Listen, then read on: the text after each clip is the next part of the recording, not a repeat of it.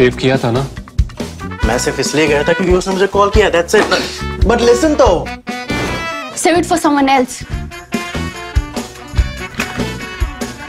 ज़िंदगी में सेव करना ज़रूरी है मगर जब बात पैसों की हो सिर्फ़ सेविंग से काम नहीं चलेगा इक्विटी म्यूचुअल फंड्स में इन्वेस्ट कीजिए और अपने सेविंग्स को आगे बढ़ने का मौका दीजिए mutual fund investments are subject to market risks. Read all scheme related documents carefully. Late one February evening in 2001, Sadiq Israr Sheikh received an invitation to tea at the Medina Hotel, cradled inside the lanes of Mumbai's Cheetah camp. Like many young Muslims of his generation, enraged by the demolition of the Babri Masjid, Sheikh had joined the Students' Islamic Movement of India. Within months, though, the air conditioning mechanic had become bored with listening to speeches on Islam and jihad. A year after, he drifted away from Simi. Then came the meeting at the Medina Hotel, one which would leave deep scars across India. Two weeks after the carnage of 9 11, India had moved to ban Simi, charging the organization with sedition and support for terrorism. Even though hundreds of key Simi operatives were arrested and interrogated, though, police forces and the intelligence services missed the real story. Following his meeting at the Medina Hotel, Sheikh crossed the border into Bangladesh and boarded an Emirates flight headed from Dhaka to Karachi through Dubai. From Karachi, Sheikh later told police, in testimony which under Indian law cannot be used against him for the purposes of his trial, he drove on to a Lashkar-e-Taiba camp near Bahawalpur. There he began training with the core of former Simi members who were forming what we came to know as the Indian Mujahideen.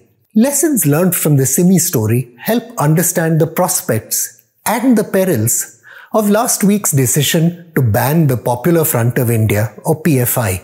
The Simi ban choked visible Islamist political mobilization, but it didn't cut off air to jihadist groups. Worse, jihadist networks became more walled off and operated with a discipline and secrecy that blinded India's security services. For almost six years, from 2005 to 2011, India's police and intelligence services were to fail clueless in the face of the most lethal urban terrorism campaign the country had ever seen. Ever since 2016, the PFI has regularly faced allegations of its members joining transnational jihadist groups like the Islamic State. Kerala resident Shajir Mangalasari Abdullah, accused by the NIA of recruiting for the Islamic State in Afghanistan, was a supporter of the PFI's political wing, the Social Democratic Party of India. Safwan Pukatel, a graphic designer with the PFI house journal Tejas, is alleged to have been among Shajir's recruits, along with Manseed bin Muhammad, who researched Hindutva for the now banned organization. Kannur origin Muhammad Samir, who took his wife Fawzia and their three children into the Islamic State Caliphate in Syria, once served as subdivisional convener of the PFI in Valapatnam. And earlier this year, police in Assam charged Makibul Hussain, the former PFI district head of Barpeta, of recruiting for Ansarullah Bangla team, a Bangladeshi Al Qaeda affiliate that has carried out multiple terrorist attacks targeting left wing secularists and the Hindu religious minority. Telangana police, in turn, arrested PFI activist Abdul Khader on charges of providing kung fu combat training to hundreds of young men. Although local media later reported that nothing in this case was found that was more incriminating than, and quote, three sets of loose paper bunches, three handbooks, a notebook, and some bus and train tickets. Long before the recent killings in Karnataka and Kerala, PFI cadre were also alleged to be involved in religion driven political violence.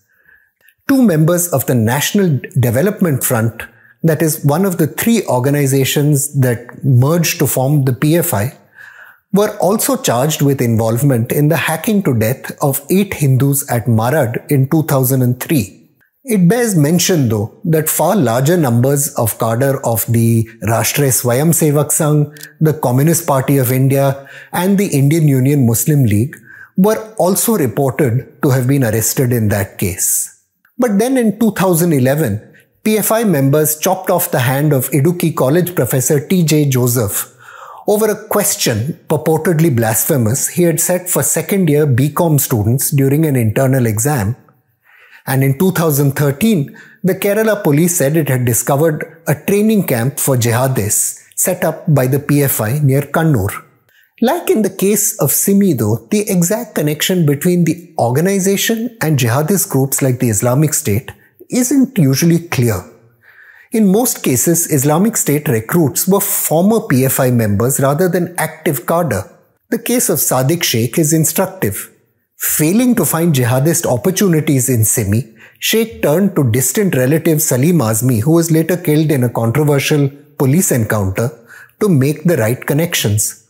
Azmi is alleged to have put him in touch with the gang lord Amir Raza Khan, who in turn financed the training of the core Indian Mujahideen members. So was Simi involved? Yes. Were others also involved? Also yes. The recruitment of former PFI members like Samir into the Islamic State also took place in the diaspora, clouding the details of their stories. Islamic State recruiters, moreover, have drawn on several Indians with no known PFI link, underlining the role of personal ties and online propaganda in turning someone from an Islamist activist into a terrorist.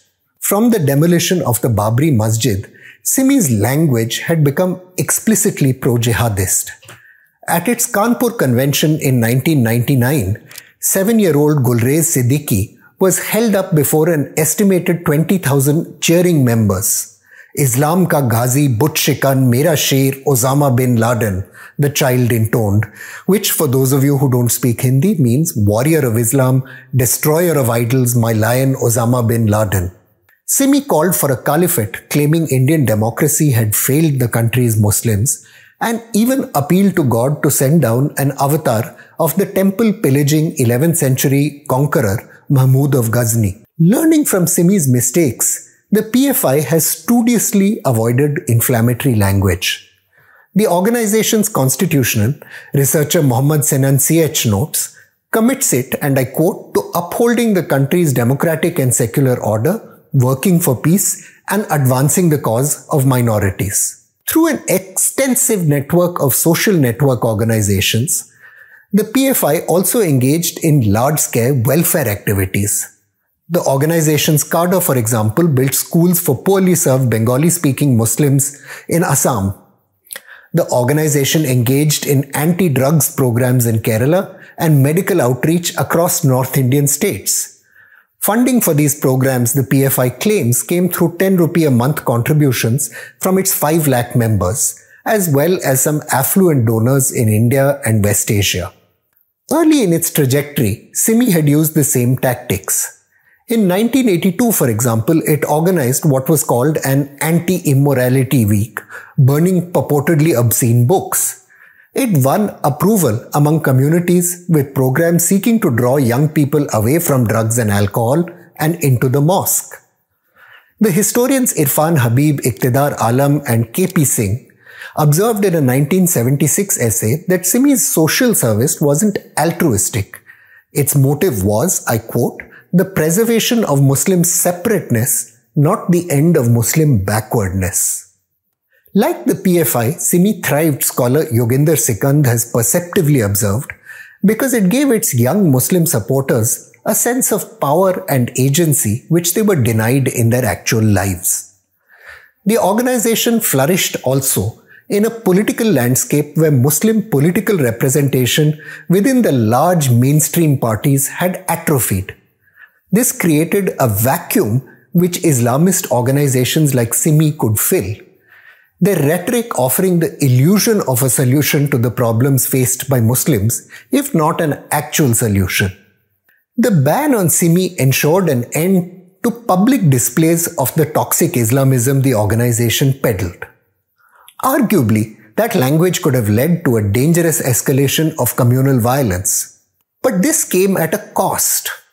Large scale arrests of young Muslims accused of Simi membership, most of whom were later acquitted by the courts, engendered deep bitterness.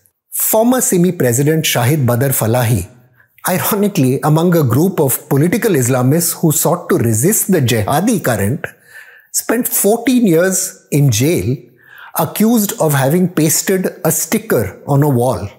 Local police, moreover, found Simi members a convenient scapegoat for Indian Mujahideen terrorist bombings when they began in 2005. That allowed the real perpetrators to continue their attacks for years unchecked.